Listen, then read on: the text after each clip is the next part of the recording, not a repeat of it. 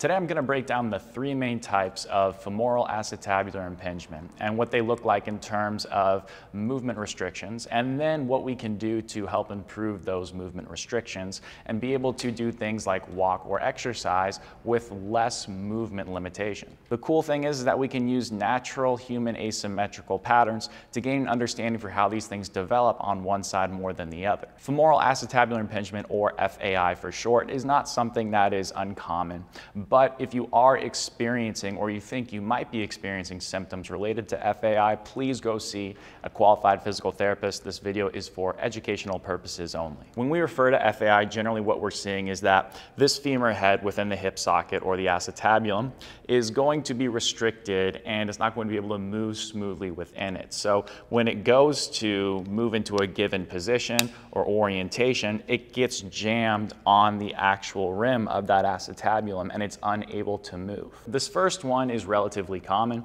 and it is when you have a jamming or impingement of the femur head on the anterior and superior rim of the pelvis right here.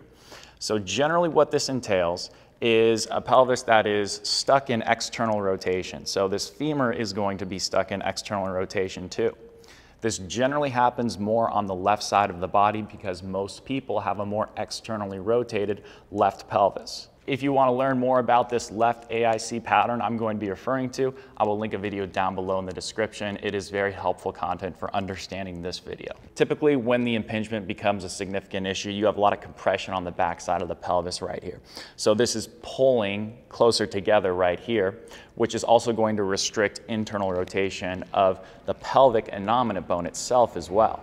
So typically when people go to shift over to the left, they can't do that very well because in order to shift over to the left, you have to be able to internally rotate this innominate bone right here and this femur needs to slide back, but it can't do that. So it gets jammed on that anterior and superior surface of the acetabulum. We can use a couple of objective tests to see if this is most likely the case. The ones I'm going to be referring to are an Ober's test, which is going to be measuring internal rotation of the pelvis and the femur. Also a hip flexion test, which is going to be measuring external rotation of the pelvis and the femur.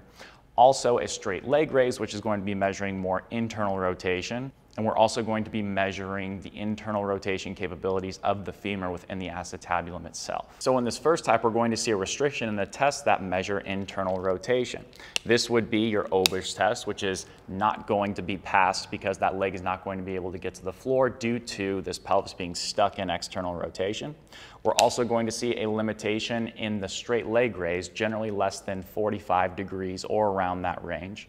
And we're also going to see a limitation in internal rotation of the femur itself, usually less than 20 degrees. The second type of impingement we see occurs more so on the right side in most cases.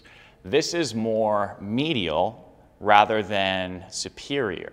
So superior is up, medial is more in. So you're gonna see it occur more so right in here. And the reason for that is because the right side tends to have a pelvis that's more internally rotated and this femur tends to be more adducted like this. So in this orientation right here, what we see is more medial and anterior impingement right around here, especially when that right hip goes to internally rotate. There's a saying I like to use of you can't get somewhere you're trying to go if you're already there. So if this right hip tries to internally rotate and it can't do that anymore, then we're going to get pinched right around that anterior and medial aspect of the acetabulum. Because this side has more access to internal rotation, we're going to see a restriction in external rotation based measures. So the right femur is going to have less external rotation, generally around 25 degrees or less. The right femoral internal rotation will be better than the left because the left does not have as much of that. The last one we're going to see is more associated with the right side as well, but this is going to show up a little bit differently because what we're going to see here most of the time is a pelvis that is a little bit more compensatory in nature. So oftentimes, but not always, we see this left hip come up and over the top, which is going to pin this right side down. So if this right side is pinned down, we're going to see a restriction or impingement on the lateral and superior or outside and up side of this acetabulum right here. This is going to show up the most when the individual tries to lift up their leg and move it out to the side or abduct it because that is what's going to really pinch that side and pull it together. So this person's going to have very little abduction on that side. They're also going to have a decrease in external rotation on the right femur, and their hip flexion will also not be very good. If it's the case where the left side is coming up and over the top, the left side is forward, but is bringing the right side with it. So you're also going to see a limited Ober's test on the right side as well. So those are the three types. Now we can talk about what we can do to improve movement quality. And again, if you're experiencing issues, please go see a physical therapist. Do not self-diagnose. This is just to give you some information. Let's go to the first one where we have more of that anterior and superior impingement that occurs more so on the left side in many cases. In this case, what we want to do, because this left side is out in external rotation, we want to improve the ability to go into internal rotation. But we want to do that slowly and in safe positions at first. So a good place to start would be just an adductor pullback activity. This is going to start that process of getting that internal rotation back. And this is going to do that through muscles that bias internal rotation, such as that ischiocondylar adductor and the fibers of the glute med that help create internal rotation of the hip as well. From there, we can go into more dynamic internal rotation based activities in more hip extension, which is a position of internal rotation. Eventually, the goal would be to get this person upright and be able to shift into that hip and load that dynamically so that they can go through external to internal rotation.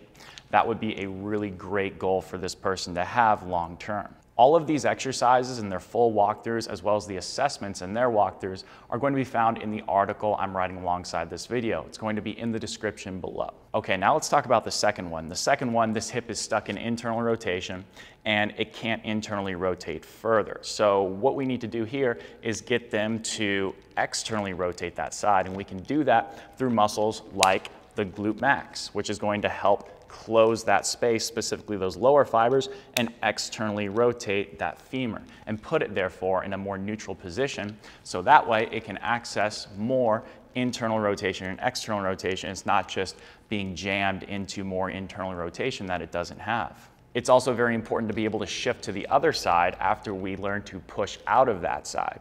So that's going to entail exercises where we can create a little bit of a reference of the inner edge of the foot arch to help push us over to the other side, perhaps in a little bit of abduction as well. From there, we can do, again, more loaded dynamic activities that are going to help promote a turn away from that side into external rotation because we turn away from load. And therefore, if a load is unilateral and we have it in our right side with our right foot forward, that will promote a turn away from that side, and that will help us shift back to the left. Finally, let's talk about the last one, which is that lateral and superior impingement, which especially shows up with hip abduction. So therefore, we really want to improve the ability to abduct the hip. So what we want to do here is, yes, improve external rotation on that side, but we also want to improve abduction. And there are some really great techniques we can do this with, starting with a reference of the wall and working more and more progressively up into abduction. The primary muscle we're going to be feeling on these activities, hopefully, is the posterior glute med, which helps create abduction and closes off this side of the pelvis right here into external rotation. Once we're ready for dynamic upright activity, we can do a right foot forward deadlift variation where we are promoting a turn to the left side and a little bit more external rotation on this right side right here. I imagine there's some people watching this video saying, well, I think I have this, but it's on my other side, which is possible for sure. And that's why we need more of an individualized approach at that point. And that's why having someone you can go to in person is very much important. If that's you, I will link in the description below a place where you can find someone to work with in person who will understand how these asymmetrical patterns are going to influence this impingement.